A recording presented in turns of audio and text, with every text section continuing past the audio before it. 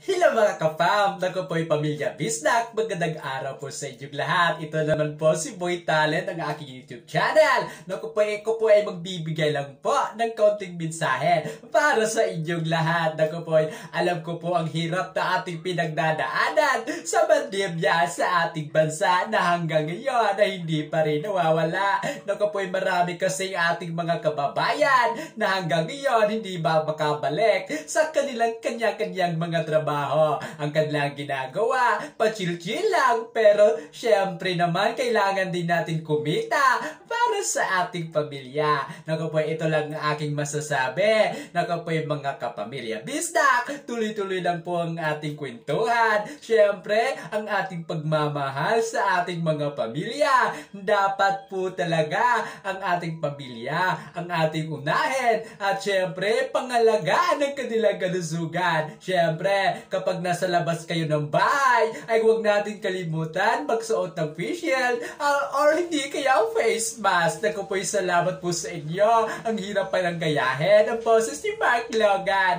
Naku po'y pero, pero, dagan kaayong salamat mga pamilya bisnak. Kay kamong yun ginoo ko ang inyong pagpaningkamot. Eh para yun na sa inyong pamilya. Naku po'y proud kaayo ko na Bisaya pud ko. Naku po'y pero padayon kita sa udahan kung unsa man problema nga atong giatubang karon masolve na nato na sa pamamagitan sa pagdadasal at syempre samahan din natin ng gawa. Kasi po ang pagdadasal ay walang mangyayari kung hindi tayo kumilos mga kapam tuloy-tuloy lang po ang ating pananalig at syempre ang paggawa ng mabuti sa ating kapwa at sa ating mga pamilya. Tuloy-tuloy lang po tayo mga kapam Salamat po ng marami po sa inyo. Hanggang sa susunod, magkita-kita na naman tayo dito pa rin sa Pamilya Bisdak. Salamat, salamat po ng marami po sa inyo. Sana naman matuwa po kayo. O mga Pamilya Bisdak,